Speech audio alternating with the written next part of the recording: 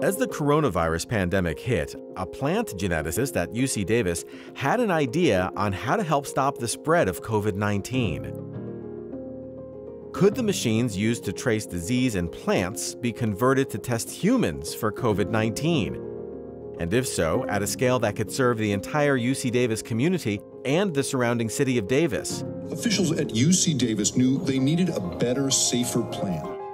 The plan worked, and a unique partnership was established, Healthy Davis Together, that created a COVID bubble or shield to help protect the city and university from a COVID 19 outbreak.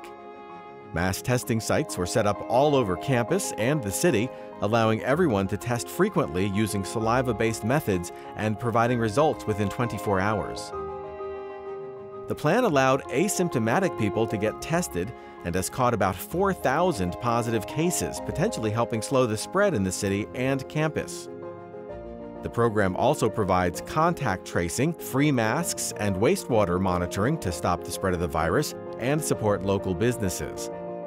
And it's made COVID 19 vaccines available to the most vulnerable and underserved populations in the county. Now, Healthy Davis Together is proving to be an example for the rest of the country. UC Davis, outgrowing expectations.